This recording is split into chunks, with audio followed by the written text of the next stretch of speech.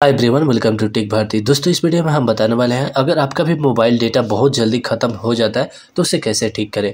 जी हाँ काफ़ी सारे लोग का मोबाइल डेटा, चाहे वह एक जीबी हो, डेढ़ जीबी हो, या दो जीबी हो वह बहुत जल्दी ख़त्म हो जाता है। और ख़त्म होता है तो बहुत तेज़ी की स्पीड में ख़त्म होता है। यानी कोई भी वीडियो या मूवी कुछ भी देखते हैं तो बहुत जल्दी जल्दी वहाँ पर डेटा कंज्यूम होता है, और पता चलता है कि एक ही घंटे के अंदर आपका डेढ़ जी डेटा खत्म हो गया। तो ऐसी स्थिति में बहुत सारे लोग परेशान रहते हैं। तो आज की इस वीडियो में हम ऐसे पाँच सेटिंग बताएँगे, जिसको ऑन करते ही आप अपने मोबाइल डेटा चाहे आपका मोबाइल डेटा एक जीबी डेढ़ जीबी या दो जीबी हो, आप पूरे दिन उसको इस्तेमाल कर सकते हैं। लेकिन उससे पहले चैनल पर नया था प्लीज़ चैनल को सब्सक्राइब कीजिए बेलाइक ऑन कर दीजिए, ताकि आपको हमारे सारे वीडियो का नोटिफिकेशन सबसे पहले मिले। तो चलिए शुरू करते हैं। अब अपने मोबाइल के इंटरनेट डेटा को जल्दी से खत्म होने से बचाने के लिए जो आपको पहला सेटिंग करना है तो इसे करने के लिए सबसे पहले अपने मोबाइल के सेटिंग को ओपन करेंगे। तत्पश्चात यहाँ पे सबसे ऊपर की तरफ़ देखेंगे कनेक्शन करके एक ऑप्शन देखने को मिलता है। आपको सिंपल कनेक्शन के ऑप्शन पे क्लिक करना है। तो क्लिक करते हैं आप देख सकते हैं नेक्स्ट स्टेप में यहाँ पे एक डेटा यूजेज या डेटा सेवर करके ऑप्शन देखने को मिलेगा। अगर आप में देखने को नहीं मिलता है तो आप अपने सेटिंग को ओपन करेंगे और सर्च बार में आपको टाइप करना है डाटा यूजेज या डाटा सेवर और जैसे देखने को मिले उस पर क्लिक करेंगे। और नहीं तो कनेक्शन देखने को मिलता है तो कनेक्शन के ऑप्शन पर क्लिक करेंगे। तो इस तरह इंटरफेस आएगा। अब आपको यहाँ पे डाटा यूजेज या डाटा सेवर देखने को मिले, इस पर आप क्लिक करेंगे। तो क्लिक करते हैं, फिर से नेक्स्ट पेज ओपन हो जाएगा। अब यहाँ पे देख सकते हैं, ऊपर की तरफ़ देखेंगे डाटा सेवर करके ऑप्शन देखने को मिलता है। अब आप क्या करेंगे, यहाँ पे डाटा सेवर के ऑप्शन पे क्लिक करेंगे। तो क्लिक करते यहाँ पे देख सकते हैं डाटा सेवर पहले से ऑफ़ होगा, इसको आपको ऑन कर देना। और जैसे ही आप इसको ऑन करेंगे, उसके पश्चात क्या होगा कि आपका मोबाइल का डेटा बहुत ज़्यादा सेव होने लगेगा, अर्थात जल्दी जल्दी खत्म नहीं होगा। अर्थात यह पहला सेटिंग रहा। अब आपको वापस बैक आ जाना है। अब आपको फिर से जो दूसरा सेटिंग करना है, इसके लिए आपको क्या करना है? फिर से अपने मोबाइल के सेटिंग को ओपन कर लेना है। तत्पश्चात सबसे नीचे की तरफ़ आना है और जैसे ही नीचे की तरफ़ आएँगे तो यहाँ पे देख सकते हैं अबाउट सेक्शन देखने को मिल जाता है। अर्थात अबाउट फ़ोन वाला जो ऑप्शन आ रहा है, इस पर आपको क्लिक करना है। तत्पश्चात यहाँ पे नीचे की तरफ़ आएँगे तो देख सकते हैं सॉफ्टवेयर इन्फॉर्मेशन करके ऑप्शन आएगा। इस पर आप क्लिक करेंगे। तत्पश्चात यहाँ पे देखेंगे बिल्ट नंबर देखने को मिल जाता है। अब आपको क्या करना है? यहाँ पे सात बार लगातार क्लिक करना है। जैसे देख सकते हैं हम यहाँ पे क्लिक करें। एक, दो, तीन, चार, पाँच, छः, सात। तो क्लिक करते हैं, यहाँ पे देख सकते हैं इसको अनलॉक करने के लिए आ जाएगा, हम स्क्रीन अनलॉक करेंगे। तत्पश्चात यहाँ पे देख सकते हैं डेवलपर मोड ऑन हो गया। अब यहाँ पे हम जैसे ही बैक आएँगे तो यहाँ पे देख सकते हैं अबाउट फ़ोन के जस्ट नीचे डेवलपर ऑप्शन देखने को मिल जाता है। अर्थात यहाँ पे आपको डेवलपर ऑप्शन ऑन करना है। और जैसे यहाँ पे ऑन कर देंगे, उसके पश्चात आपको क्या करना है, यहाँ पे नीचे की तरफ़ स्क्रॉल डाउन करना है। और नीचे की तरफ़ आपको देखना है एप फ़ंक्शन कहाँ देखने को मिलता है। तो जैसे देख सकते हैं, यहाँ पे एप सेटिंग देखने को मिल जाता है। अब यहाँ पे देखेंगे बैकग्राउंड प्रोसेस लिमिट करके एक ऑप्शन देखने को मिलता है। आपको इस पर क्लिक करना है। तो क्लिक करते हैं, यहाँ पे देख सकते हैं स्टैंडर्ड लिमिट होगा। इसको आपको नो बैकग्राउंड प्रोसेस के ऑप्शन पे क्लिक करना है। और जैसे सेलेक्ट करेंगे, उसके पश्चात आपका क्या होगा कि मोबाइल का डेटा बहुत कम कंज्यूम होना शुरू हो जाएगा।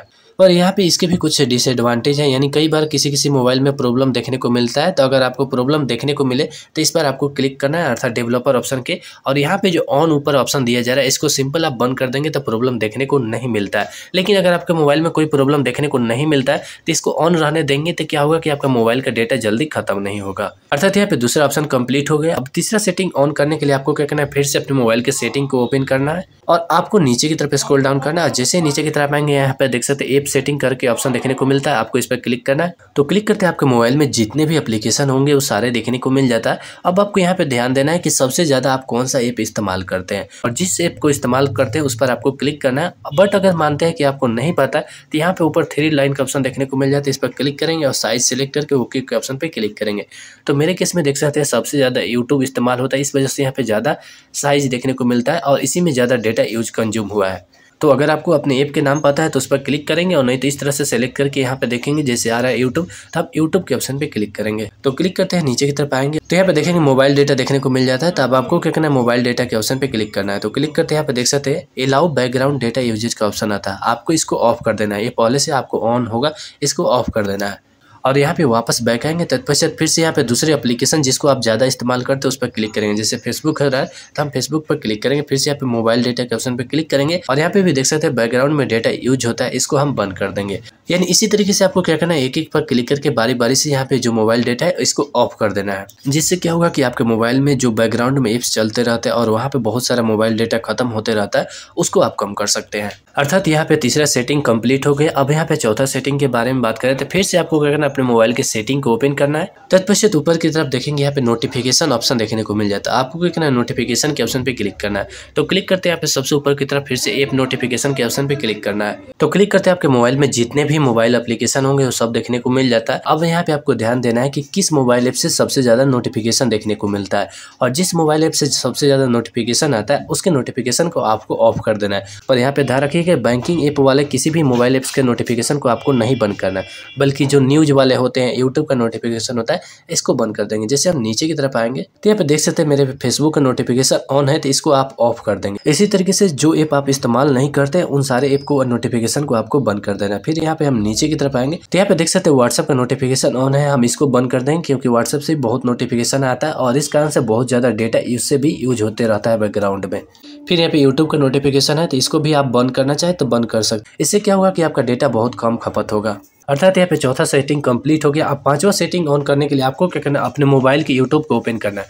क्योंकि ज़्यादातर लोग यहाँ पे यूट्यूब से वीडियो देखते हैं तो यहाँ पे बहुत ज़्यादा डेटा खपत होता है। तो उस डेटा खपत को कम करने के लिए अपने मोबाइल के यूट्यूब को ओपन करेंगे। तो यूट्यूब ओपन करने के पश्चात यहाँ पे प्रोफ़ाइल के ऑप्शन पे क्लिक करेंगे।